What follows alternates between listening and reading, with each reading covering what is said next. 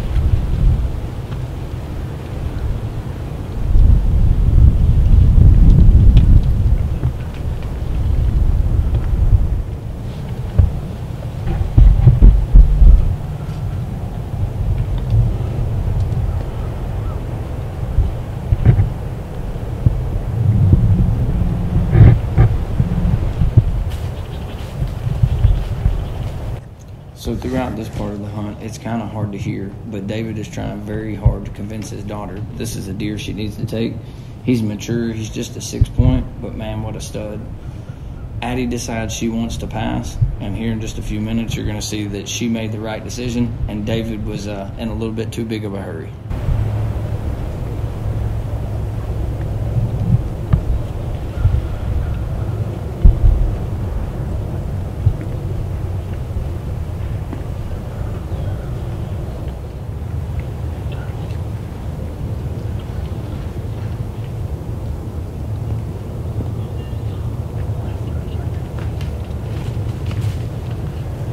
After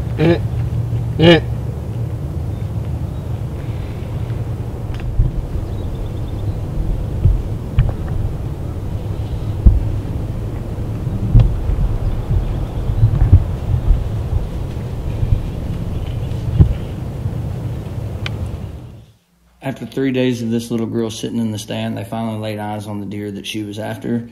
And I don't know which one was more excited, David or Addie.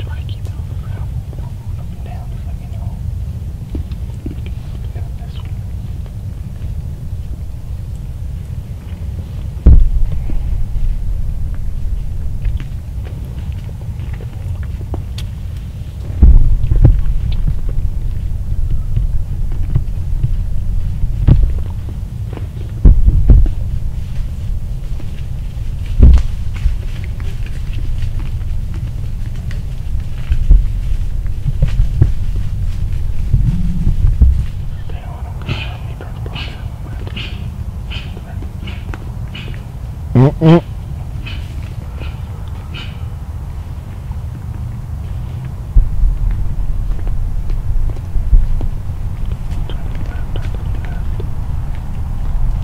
Get ready, get ready. If you got him, shoot him.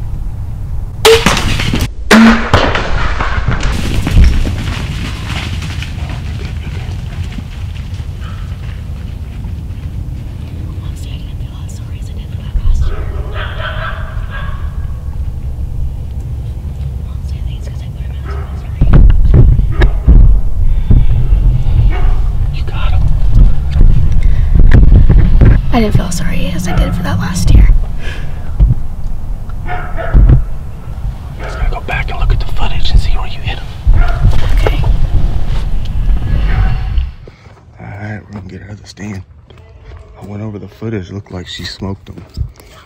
So we're gonna see if we can find a blood trail.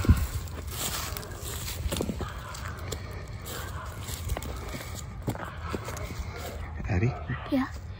I think you got her. About to find out. Uh, We'll be back with y'all shortly. We're gonna see if we can pick up this blood trail.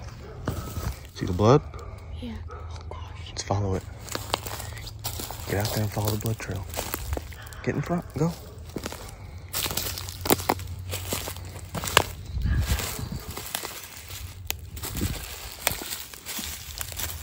Are you looking for blood or are you just walking?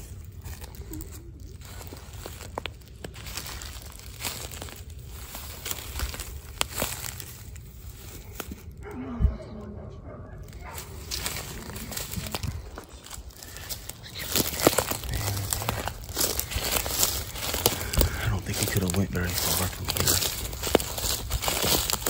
Yeah. He smoked him, Addie. He shouldn't be very far.